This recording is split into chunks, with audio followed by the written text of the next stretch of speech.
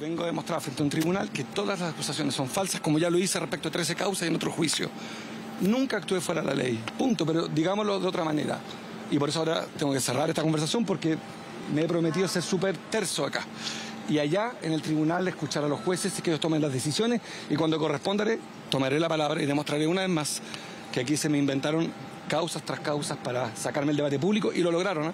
Dos campañas presidenciales proscritos, dos proscritos electoralmente. No podía ni votar y lo demostré que era otra injusticia.